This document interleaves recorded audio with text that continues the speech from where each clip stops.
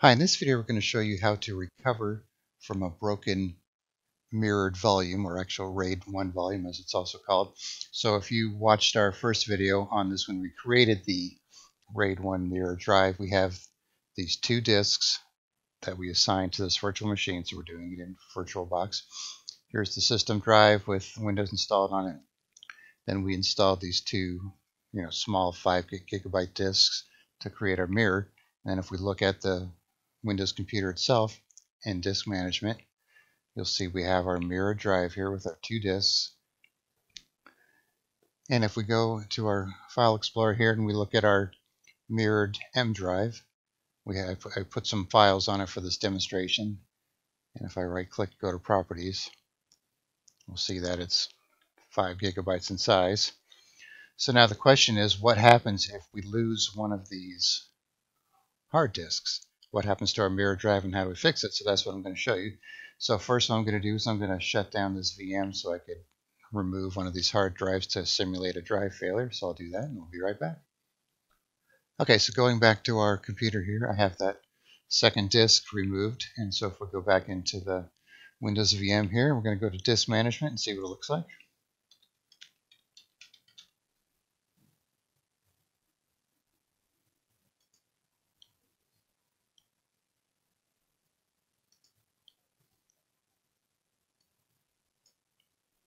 Okay, so here's our mirror with the two disks, and you can see the second one says it's missing, but it still shows that there's a mirror there, and this is failed redundancy.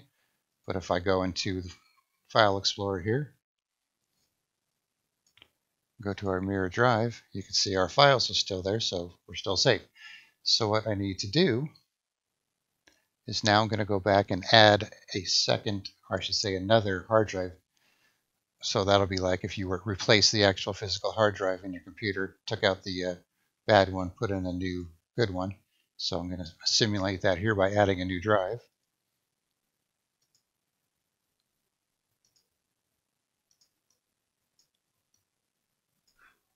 Let's call this new.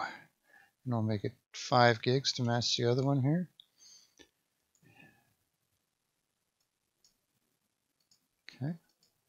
So now we have this new drive here.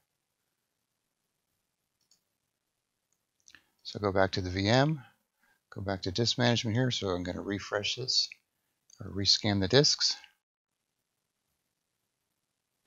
And so now we have, here's the new drive I just added. All I need to do is initialize it, use the same GPT partition table as I did before. Okay, so now we have so give us a little more room here. We have our mirror with our two drives and one of them's missing. So we need to get rid of this and then make this be the replacement for that to complete our mirror to rebuild it. So what I'm going to do is you could, you could click on either one of these, right click on it, and I'm going to click on remove mirror and you want to find the one that's missing and you, so which is this one here click on remove mirror Say yes to that. Okay, so now we just have, this is just a regular drive now. It's not a mirror anymore, even though it's named mirror because that's what I called the volume. And here's our new disk. So I'm going to right click on our mirror, add mirror, and then it's going to say here's the disk that's available. Click add, and you're going to get the same message here, but it's going to have to convert this basic disk to a dynamic disk in order to use it in a mirrored volume. Say yes to that.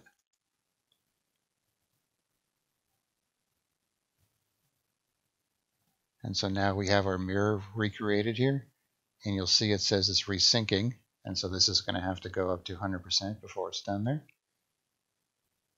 Okay, so now that's up to 100%. So now we have our healthy mirror here again. So if we go back to the mirror drive here, still see everything's the same. 5 gigabytes, and we have all our files, and everything is uh, good to go. So yeah, so when you're, you know, if one drive fails in your mirror, you need to take out the bad drive, put in a new drive, go break the mirror, and then just go into your disk management, do that from there, and just create a new mirror with your secondary new hard drive that you put in there, and then it'll resync, and everything will be uh, back in business. All right, thanks for watching, and be sure to subscribe.